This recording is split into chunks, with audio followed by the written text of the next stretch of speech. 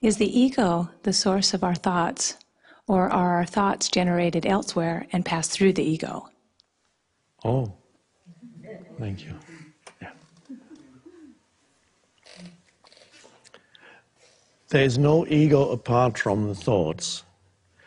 The thoughts, identification with thoughts, is ego.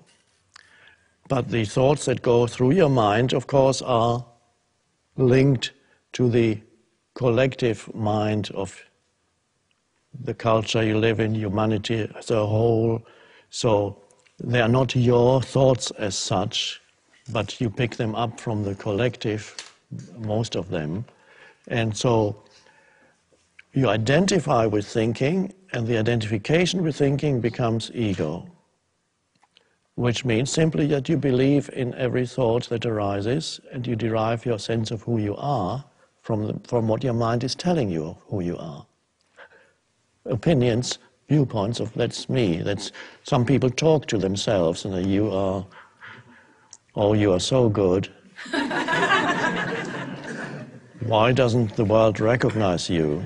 Or the mind says, you're no good. Same thing. You're no good at all. You, you never, you fail at everything, don't you? Again, and then you believe in it. And then you suddenly have a low view of yourself. Why you have a low view? Because you believed in your thoughts. And why, why are you thinking those thoughts? Probably you picked them up somewhere, maybe in childhood. Maybe your mom was so stressed out that you said you're no good. And so you pick up certain thoughts and they get stuck in your head. Thoughts that you hear in childhood, they're little energy forms, like entities, and they get stuck in your head and don't refuse to go. They, they go. And the more you believe in it, this, this, the more lodged, deep, more deeply lodged they become in your mind.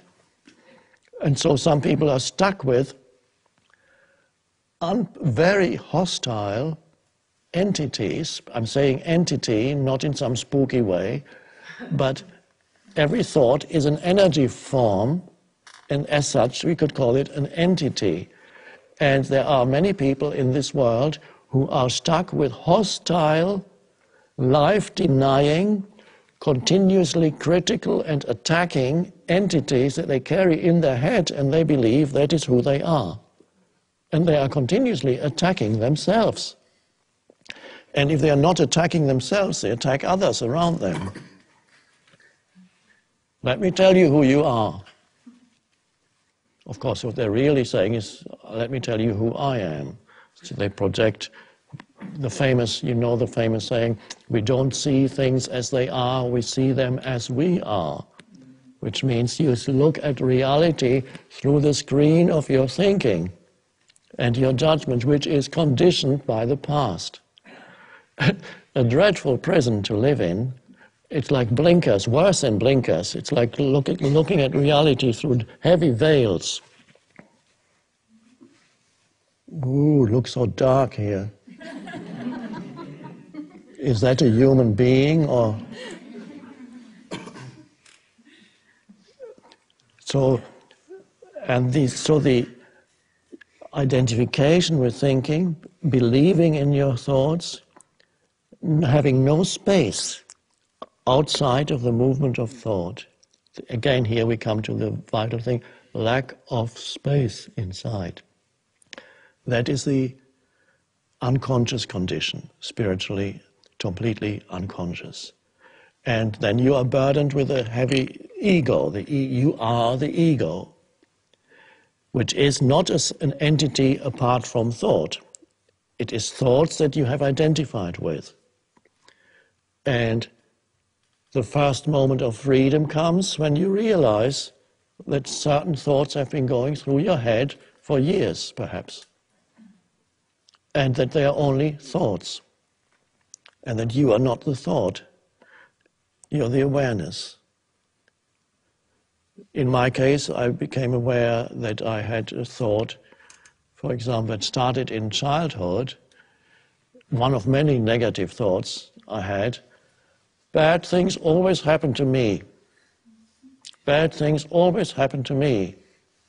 And that was, when I, I saw people around me, okay, they have got all these nice things, and always there would be bad things happening. And of course, your perception then becomes selective. When you have a thought like that, you notice much more, because in everybody's life, things in daily life, things go wrong. You miss a, you miss a bus, you, you get stuck in a traffic jam, or, you lose some money. Uh, but yes, this is normal. But if you have the thought, bad things always happen to me, you're extremely aware of those things, and they confirm to you that the thought is correct. And this is the selective perception of reality through the screen of thinking. So the reality will confirm to you, and not only that, that thought or any thought of that kind actually attracts bad things, negative things. Or if you believe people are basically bad, and that's a deep seated belief, and you don't realize it's only a thought in your head or a belief, not only do you, would you single out where you observe unethical or bad behavior in others, you would, ah, there it is. Not only that, you actually are much more likely to encounter people who manifest that kind of behavior because you attract it.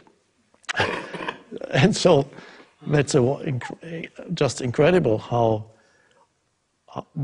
people create their, their world through that. So freedom comes from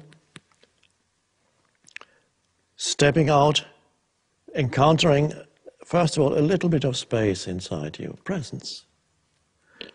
And then from there you realize certain thoughts as repetitive and just a thought.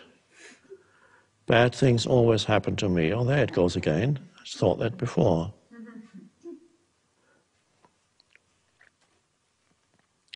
So that's the to become free of ego means becoming free of thought, identification with thought.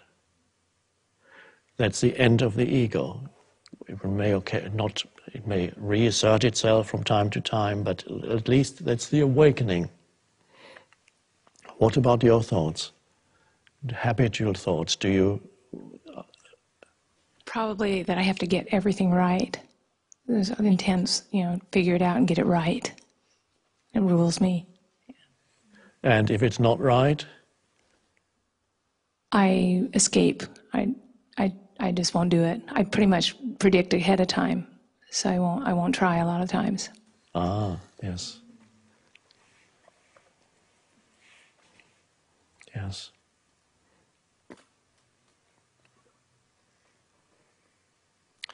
Some people are afraid of not succeeding in whatever they do because they have a self, they, they, their self image, which is derived from thinking, uh, would suffer. If I fail at something, then I will, my self image will be injured, and therefore I'm not even going to try. and again, that's to do with deriving your identity from thinking.